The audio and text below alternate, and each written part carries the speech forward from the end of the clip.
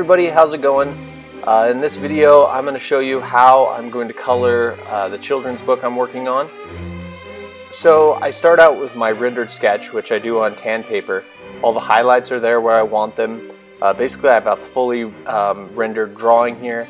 So, and I want the drawing to look authentic. I don't want it to look artificially colored. I want it to look like maybe colored pencil, um, a pastel or something like that. I want it to look like it's hand done.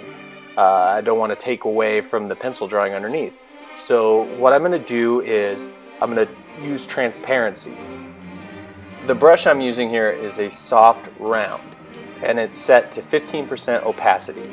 Uh, now with that opacity you can still see all the detail of the drawing underneath. It just adds just a slight bit of color.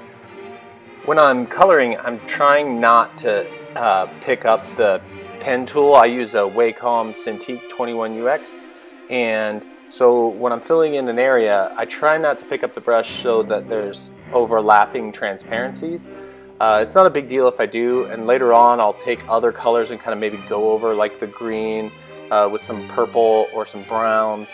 So I do go over my transparencies a little bit, but not too much. Um, so then, after I've kind of gotten all the colors where I want them, I take my dodge tool and I add highlights. So you can see edges of the tree bark and things like that just to get the, give the drawing more depth. And then after I do the dodge tool, I go in with my um, burn tool and I do the same thing in the shadows. And this really makes the drawing pop.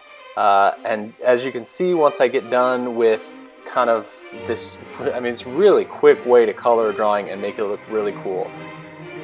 So the reason I decided to color this in Photoshop is because once I get everything, all the colors laid down and everything like that, I can really adjust the atmosphere. And as I finish this up here, you'll see what changing the contrast and the lightness and darkness and adding a little bit of vignette does. So right now I'm going to transition to the finished drawing. So as you can see, I've made the drawing quite a bit darker and there's a lot of drama now.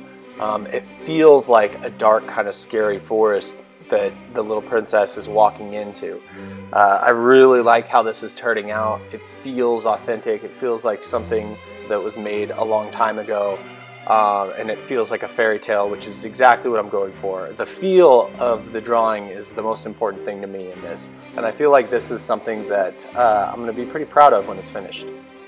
This is page three of the storybook.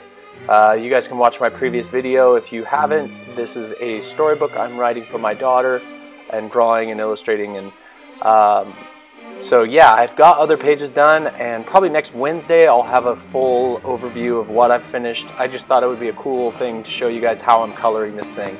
I hope you guys liked the video and uh, thanks for watching and if you haven't, subscribe.